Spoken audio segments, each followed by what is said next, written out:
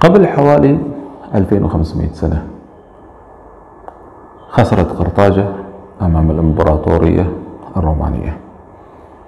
ومن ذلك الوقت حتى يومنا هذا الجميع يسأل سؤال ماذا لو انتصرت قرطاجة على الإمبراطورية الرومانية؟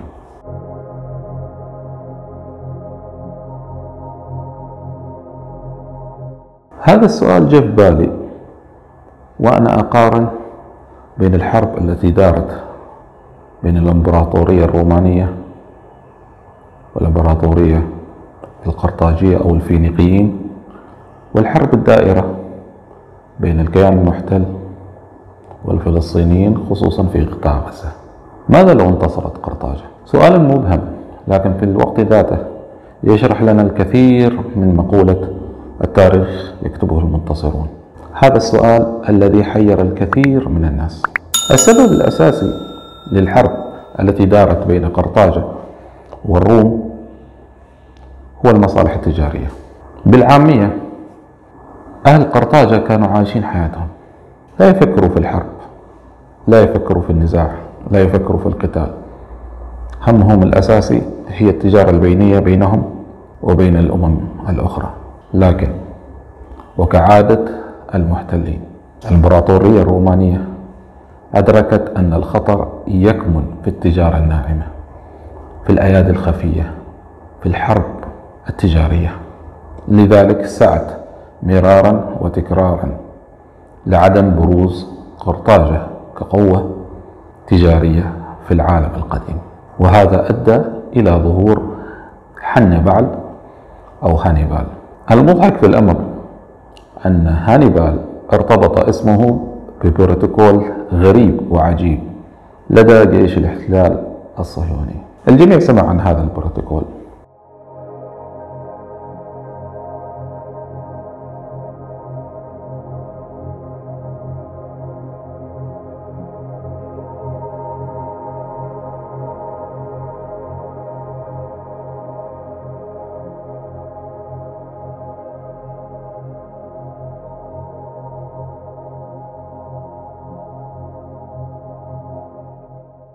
وللمصادفة تم تفعيله بشكل كبير وواضح ضد أهل غزة أو ضد المقاومة الفلسطينية منذ السابع من أكتوبر 2023 بعد ثلاثة أيام بالضبط راح يدخل العام الجديد وبهذه المناسبة وقبل لا أهني أسأل نفس السؤال ماذا لو انتصرت غزة؟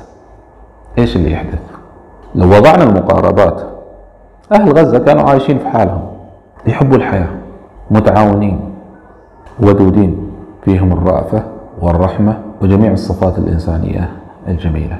فوجئوا بعدوان غاشم لا يفرق بين بشر وحجر بين كبير وصغير بين أنثى وذكر.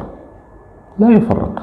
آلة من القتل مستمرة وهائجة كأمواج من البحر متلاطمة ونعيد ونكرر نفس السؤال ماذا لو انتصرت غزة؟ كيف سيكون شكل التاريخ؟ وكيف سنتعامل مع أهل غزة؟ هل سنخافهم؟ هل سيزورون التاريخ كما زورت روما التاريخ؟ هل سيصبغون العالم بألوانهم كما فعلت الإمبراطورية البريطانية؟ هل سينشرون مبادئهم وأفكارهم مثل ما فعلت الثورة الفرنسية؟ كل هذه الأسئلة سئلت من قبل قبل 2500 سنة.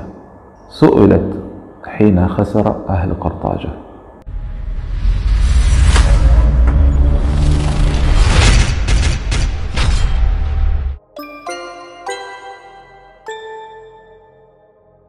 قد يقول القائل أن المقاربة بين أهل غزة وأهل قرطاجة في مقابل أهل الإمبراطورية الرومانية.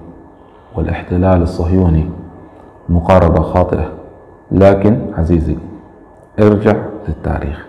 ستجد الكثير من المشتركات. أهل قرطاجة كانوا آمنين في ديارهم فغزاهم العدو الروماني.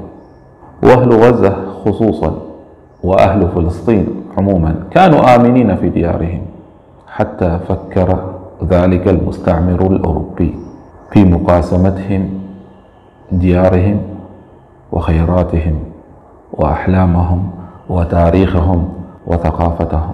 وللمرة الأخيرة أسأل ماذا لو انتصرت غزة؟